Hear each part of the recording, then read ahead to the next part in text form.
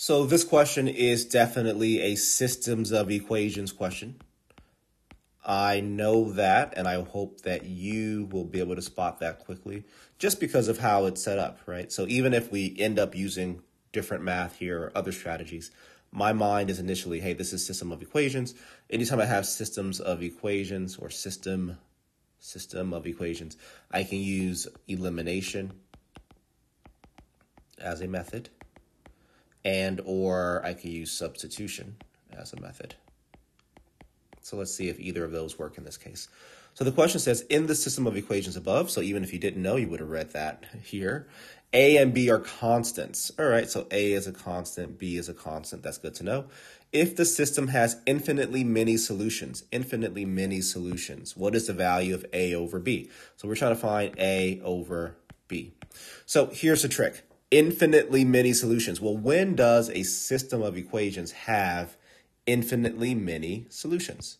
The only time that happens is when the two equations are equivalent, okay? That means that the two equations are equal to each other. So ax plus by equals 12.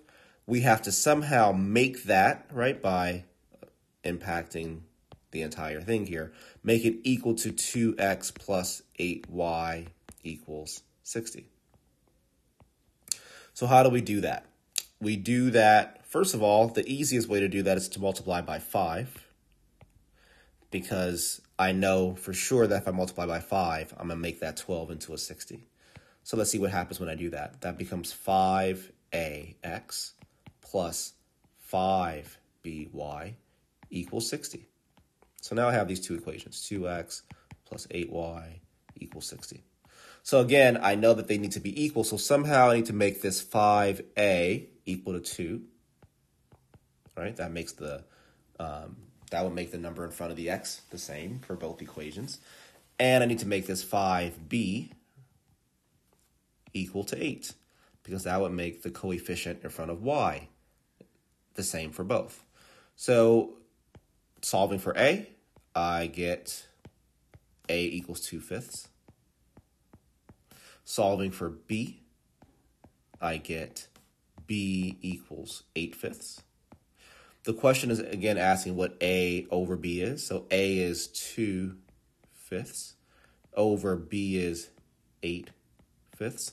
Whenever I have a complex fraction like this, I know there's other ways to do this, but I like visually, I like to say, well, this is the same as saying 2 fifths divided by 8 fifths. I can write it side by side like that. And when I divide fractions, the first fraction stays the same, 2 fifths. The divided by symbol turns into multiplication.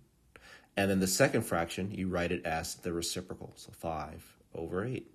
So then when I multiply these two fractions together, I'm going to cross cancel in this case. I'm going to say 5's cross out, and the 2 goes to the 2 once.